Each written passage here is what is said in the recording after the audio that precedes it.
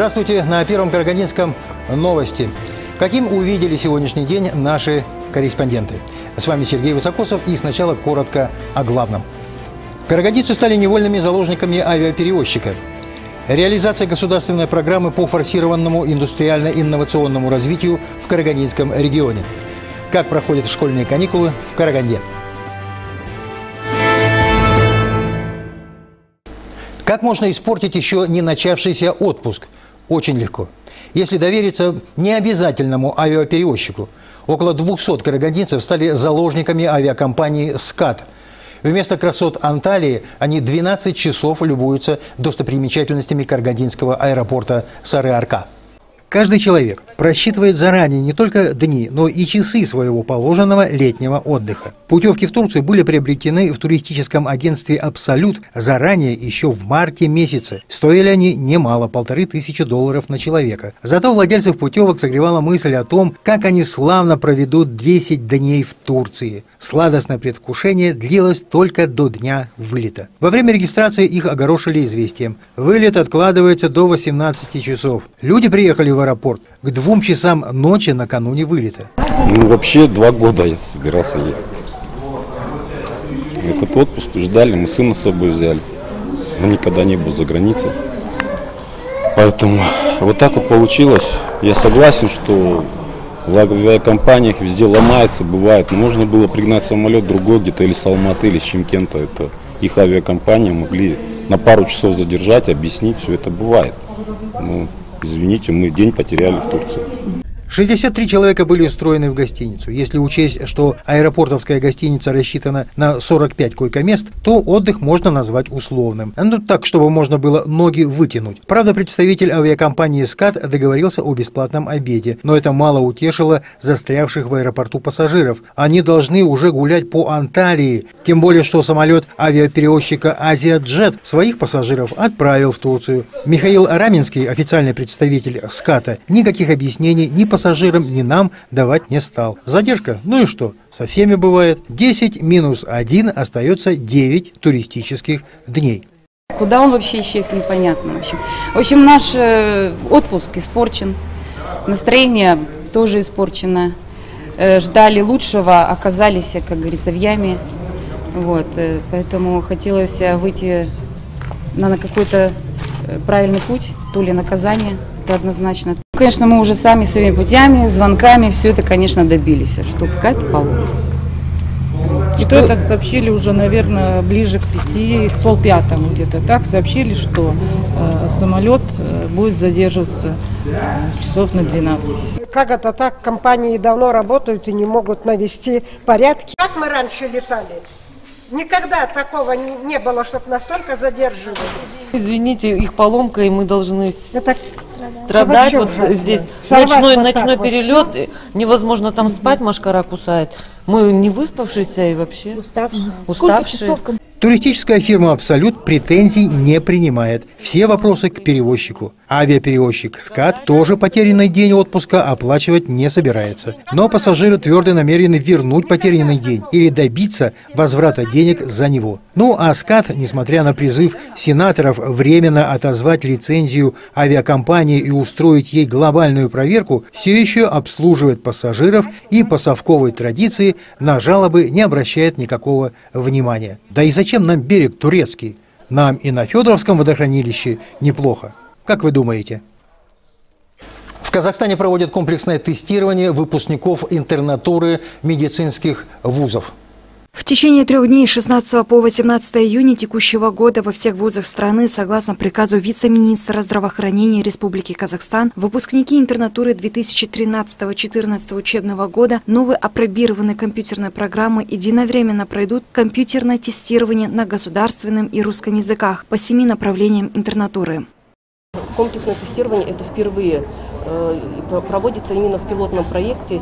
То есть на, сегодняшний день э, это, можно сказать, что проведение более э, прозрачного комплексное тестирование, она входит в государственную аттестационную аттестацию и является не промежуточным, а начальным этапом проведения данной аттестации. И в дальнейшем, если интерн не пройдет тестирование, он не будет допущен к дальнейшему экзамену ОСПы. По окончании тестирования выпускники получают предварительные результаты без учета апелляции. В процессе тестирования интерн может подавать на апелляцию на тестовые задания. Члены комиссии, рассмотрев апелляцию, имеют право удовлетворить ее, присудив балл.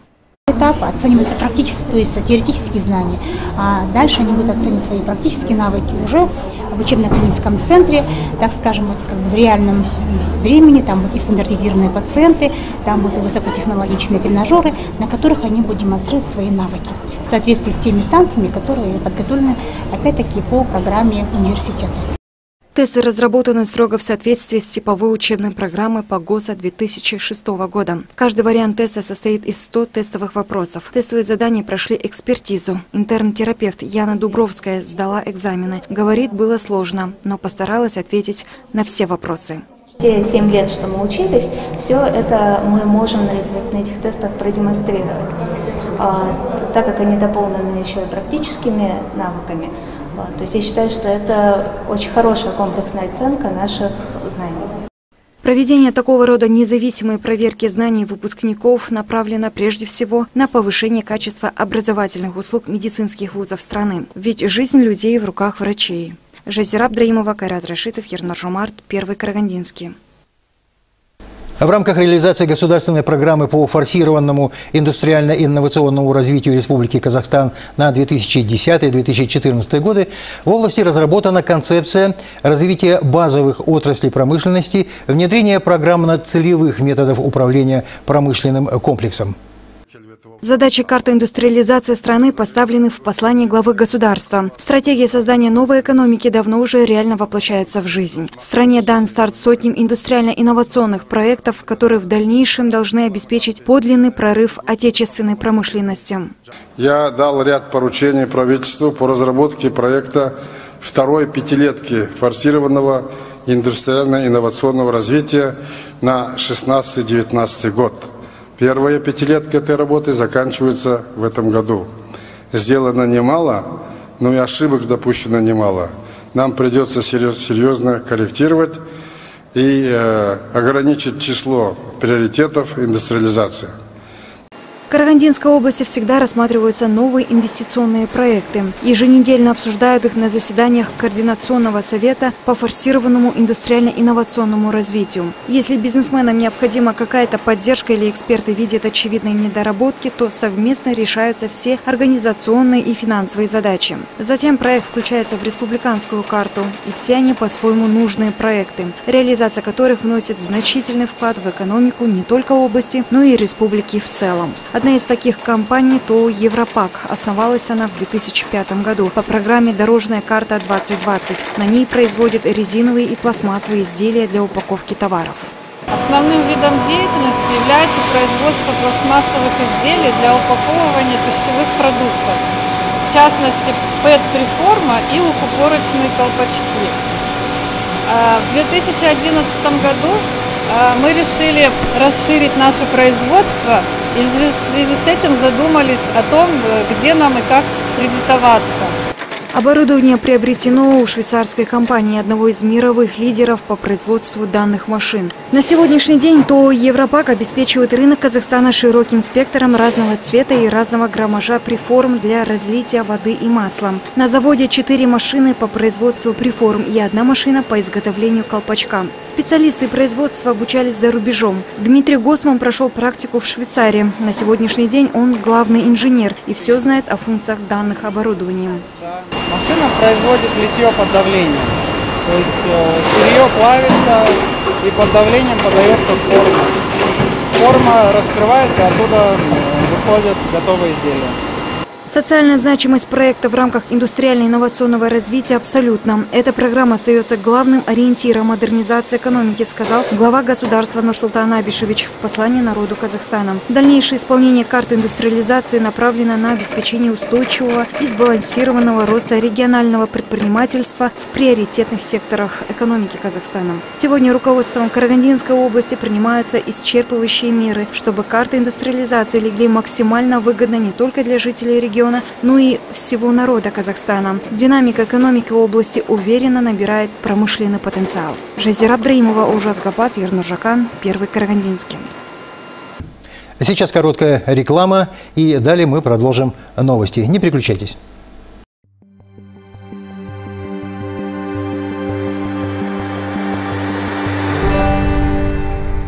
Спонсор показа Galaxy Group, производитель продукции торговых марок Алюгал, Галвин, Херкюль. Торговая марка Галвин представляет Эконом-серия профиль Галтек 53 серии Эконом-система трехкамерных профилей монтажной шириной 53 мм представляет собой качественное и экономичное решение. Если вам нужны внутренние перегородки в магазин, офис, балкон или лоджию – это ваш профиль. Стандартная система «Профиль Галвин».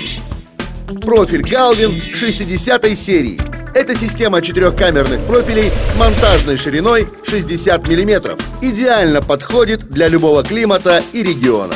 Система стандарт относится к классу А, а значит полностью соответствует современным требованиям качеству оконных и дверных профилей.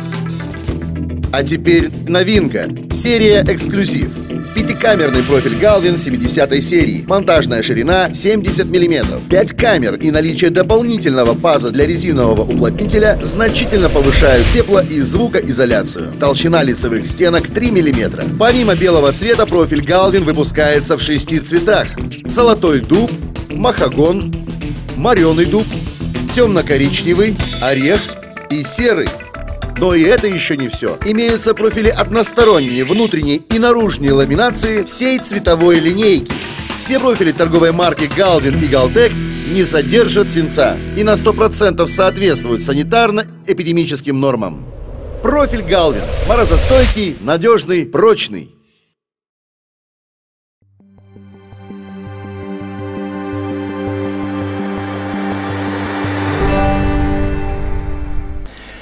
В санитарной службе области отменены все плановые и внеплановые проверки. Это произошло согласно указа президента республики о кардинальных мерах по улучшению условий для предпринимательской деятельности. В Пришахтинске провели семинар совещания с молодыми предпринимателями по этому вопросу. Агентство Республики Казахстан по защите прав потребителей является государственным органом, осуществляющим руководство и регулирование в сфере защиты прав потребителей. Теперь агентство будет заниматься и санитарно-эпидемиологическим благополучием населения. Данный вопрос почему мы сегодня освещаем? Потому что согласно нового стандарта э, на проекты, все проекты будут переходить теперь через ЦОНы. И сегодня мы данный вопрос освещаем, какие нужны будут требования, какие нужны будет э, пакет документов для э, ЦОНов. Вот эта вот услуга будет оказываться через ЦОНы. Также будут переименованы органы и организации Комитета государственного санитарно-эпидемиологического надзора Министерства здравоохранения Республики Казахстан в органы и организации агентства согласно приложению к настоящему постановлению. Лариса Хусаинова, Кайрат Рашитов, Ернур Жумарт, Первый Карагандинский.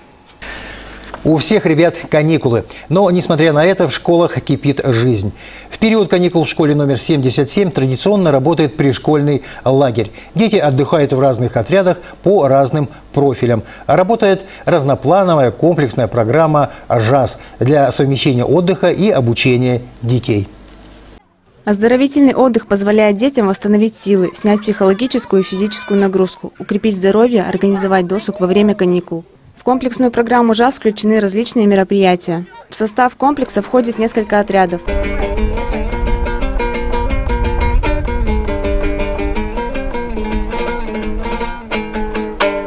Малыши с 1 по 6 классы объединены в отряд «Волшебная страна». Для детей постарше профильные отряды по изучению английского и казахского языка. Также есть экологические и краеведческие отряды. Каждый отряд работает по своему плану. Э, здесь не только и как бы вот эм, они отдыхают, но в то же время они занимаются, занимаются исследовательской работой, защищают проекты. Э, и затем дальше этот проект уже работает весь год. То есть дети выходят на э, различные конференции, в малую академию детей мы выводим, и они там занимают определенные места, призовые места на различных конференциях школьного уровня, городского уровня, и областного, и международного. С утра вместо обычной линейки дети посещают школьный бассейн. Для воспитанников лагеря проводят различные кружки. В общем комплексе лагеря отдыхают и учатся 450 детей. Сезон будет работать до конца августа. Лариса Хусаинова, Кайрат Рашитов, Ирнур Жамарт, Первый Карагандинский. Лето приносит не только отпускную радость, но и возможные опасности, связанные с человеческой нерадивостью и невнимательностью. В областном акимате рассмотрены меры по предупреждению и ликвидации природных пожаров, а также по обеспечению безопасности купания населения в летний период. На совещании, которое прошло в областном Акимате, Акимом городов и районов, руководителем государственных органов и организаций, начальником служб гражданской обороны и чрезвычайных ситуаций, было поручено своевременно информировать Департамент по чрезвычайным ситуациям области о проводимых мероприятиях по пожароопасному и купальному сезону, принять дополнительные меры по созданию добровольных пожарных формирований и финансировать их деятельности. В срок до 20 июня проработать вопрос о привлечении добровольных спасателей из числа местного населения через через отделы занятости и направить их на обучение подразделения Департамента ЧС. Обеспечить установку на водных объектах технологических отстойников, дамб, предупреждающих и запрещающих знаков о запрете купания на указанных объектах. Управлению образования проводить на постоянной основе профилактическую работу среди детей при школьных оздоровительных летних лагерях о мерах безопасности и поведения на воде. Организовать обучение детей плаванию с привлечением инструкторов, преподавателей физической культуры, прошедших подготовку по приемам спасения и оказания первой помощи пострадавшим. Департаменту по обеспечить контроль прохождения пожароопасного и купального периодов через средства массовой информации на постоянной основе организовать оповещение населения. В прошлом году на водоемах страны сотрудники спасательных служб Министерства по чрезвычайным ситуациям спасли 942 человека. Чтобы не допустить гибели граждан на водоемах области, проводятся работы с повышенной подготовкой. По распоряжению Акима области проходят мероприятия по усилению мер безопасности людей на территории водоемов. Активирована профилактическая работа в первую очередь с детьми. На водохранилищах проводится патрулирование работников администрации ЧС и полиции с целью не только выявить нарушителей, но и заострить внимание на мерах безопасного поведения на воде. В данном мероприятии задействовано 10 человек личного состава водно-спасательной службы.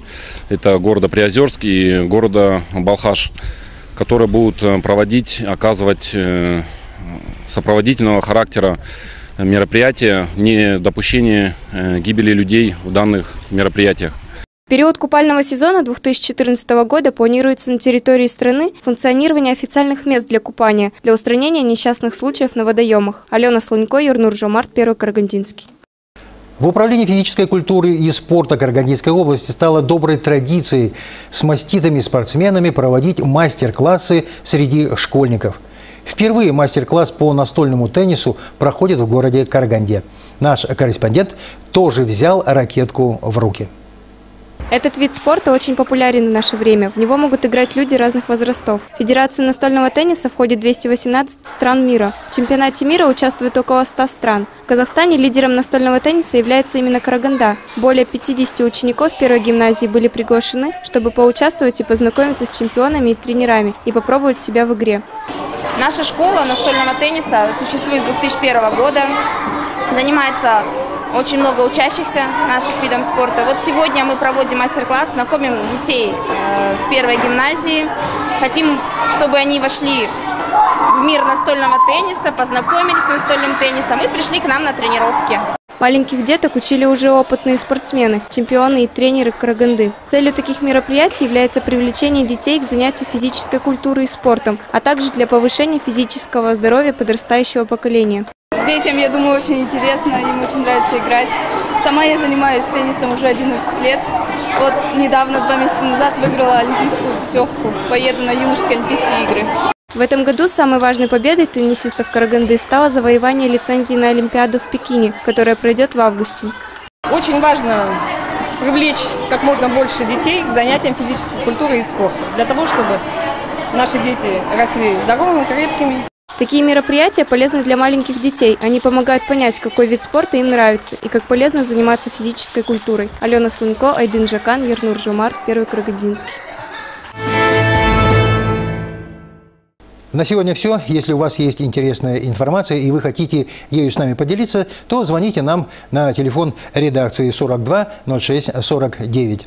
Всего вам доброго, до свидания и до встречи в это же время, только завтра.